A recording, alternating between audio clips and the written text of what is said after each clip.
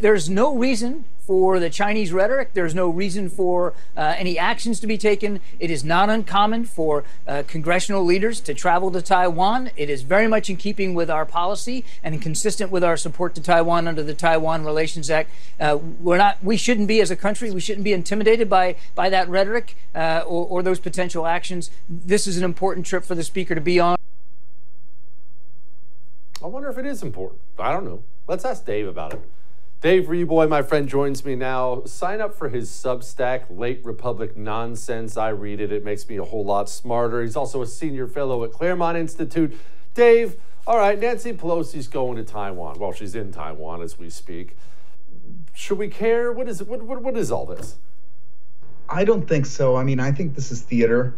Uh, the question that you asked at the outset is does this even matter? I mean, is this uh, is, you know is this the right thing to do right now?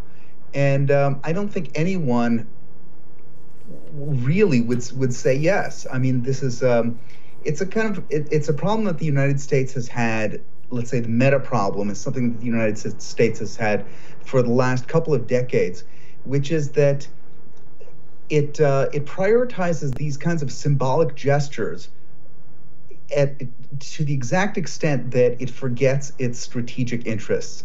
Now, its real strategic interests in regards to China involve the economy, involve not giving away the entire industrial base to China.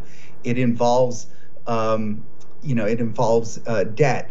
It involves a, kind of a million other things that ruling class people like Nancy Pelosi have been horrible at and and they've gotten us into this position. Now she's going and she's putting herself out there as you know whatever a, a champion of uh, of uh, of Taiwanese democracy.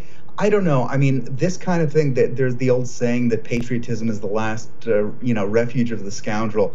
Uh, I'm not sure if that's true, but uh, but this kind of posturing is definitely uh, the last refuge of a scoundrel.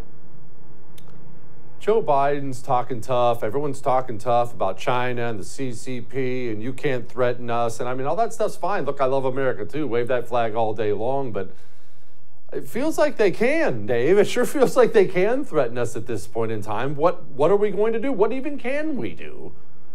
Look, I don't think there's really anything that that we can do. Uh, the first thing is we should dispense with all kinds of um, of, of nonsense things that that will not happen. So, for example, the idea that that tomorrow or the next day or frankly any time the Chinese military is going to is to walk in and, and launch an attack on Taiwan is I think it's it's ridiculous because at the end of the day Taiwan is a valuable property.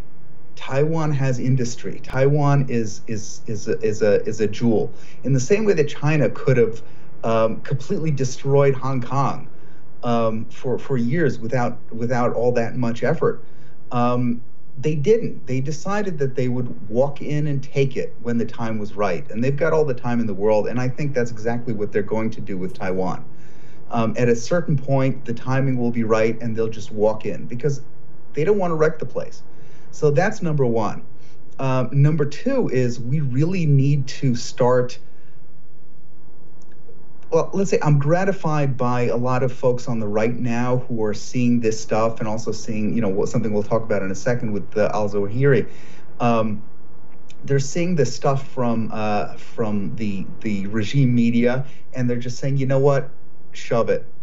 Um, this is this is uh, mostly propaganda, and it's ridiculous. And and look, I mean, you and I don't want to live in a in a place where we absolutely can't trust the government to tell us what's actually going on, and we absolutely can't trust the media to tell us what's going on. But guess what? We're there, and we don't solve that the, those particular problems by by you know waking up one day and, and, and trusting them and sort of following the ball uh, whichever way they toss it. Don't miss Jesse Kelly Breaks History, The Forgotten Genocide, the first episode of a new series available now exclusively for First TV supporters. Visit the First TV app or thefirsttv.com to subscribe and start watching today.